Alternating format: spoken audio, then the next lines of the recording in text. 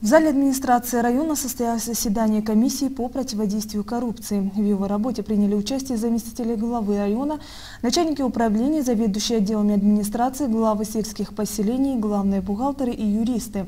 Заседание провел глава района Заур Хамирзов. Всего в этот день было рассмотрено три вопроса. По первому вопросу об итогах работы прокуратуры по выявлению нарушений в органах местного самоуправления за 2015 год выступил прокурор Кашхабовского района Евгений Евгений Зиновчик. Для улучшения взаимодействия с органами прокуратуры вы отлично знаете, что наши двери всегда для вас открыты, и в любой момент вы можете прийти и проконсультироваться. Как бы, и на том совещании, которое состоялось непосредственно у нас в прокуратуре, значит, была предложена такая форма взаимодействия, что значит раз в квартал мы будем собираться, а за это время вы, наверное, будете э, где-то аккумулировать вопросы, которые у вас будут возникать в ходе правоприменительной практики, и мы эти вопросы будем разбирать.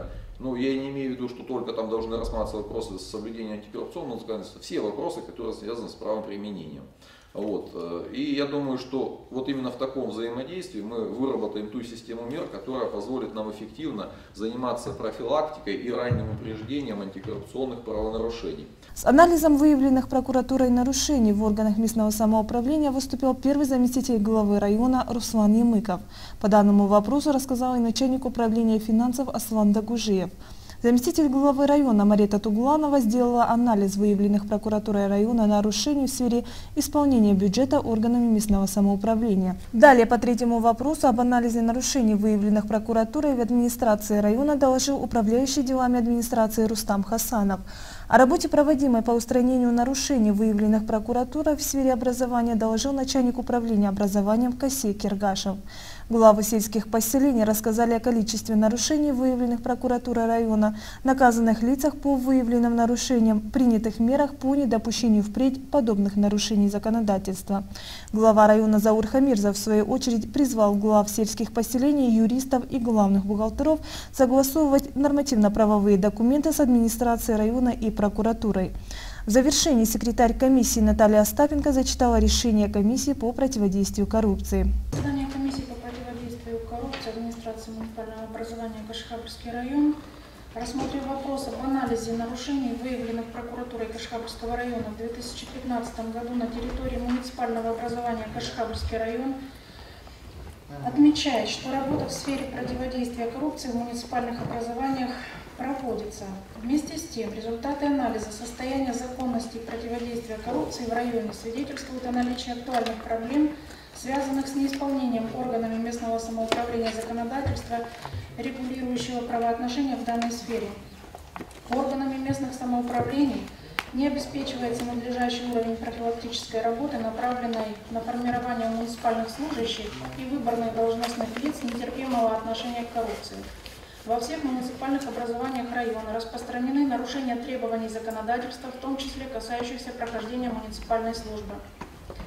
Решили Принять к сведению доклады по итогам работы прокуратуры по выявлению нарушений в органах местного самоуправления муниципального образования Кашхабурский район и анализ выявленных прокуратурой нарушений в органах местного самоуправления муниципального образования Кашхабурский район.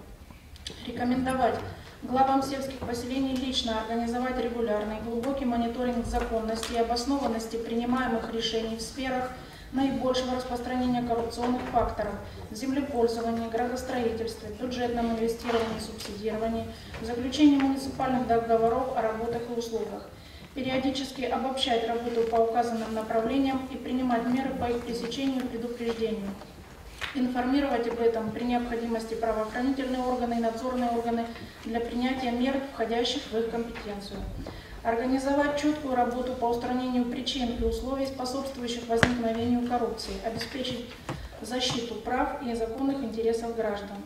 Каждый случай нарушения законодательства и волокиты рассматривать как повод для внутренней антикоррупционной проверки, результаты которой оценивать лично, принимая меры по недопущению подобных нарушений. В рамках работы по профилактике коррупционных правонарушений по каждому установленному факту непринятия мер по регулированию конфликта интересов несоблюдение антикоррупционных требований муниципальными служащими, применять к ним меры юридической ответственности, вплоть до увольнения в связи с утратой доверия.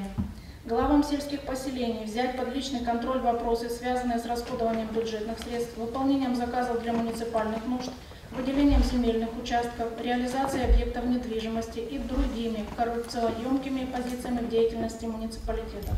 Заседание прошло в деловой и конструктивной обстановке.